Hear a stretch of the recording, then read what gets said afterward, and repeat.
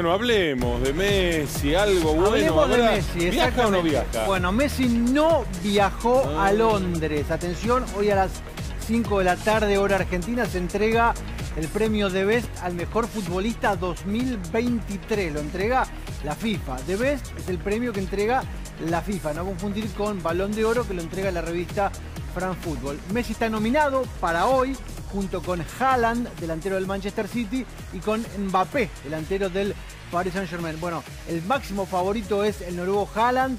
De hecho, se cree que va a ser una gala donde el Manchester City va a arrasar. Guardiola mejor técnico. Se cree que Haaland va a ser elegido como el mejor jugador.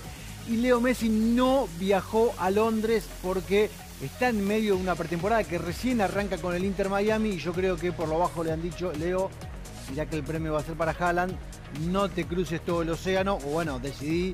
Y Messi se quedó en Miami entrenando, haciendo la pretemporada con el, con el Inter.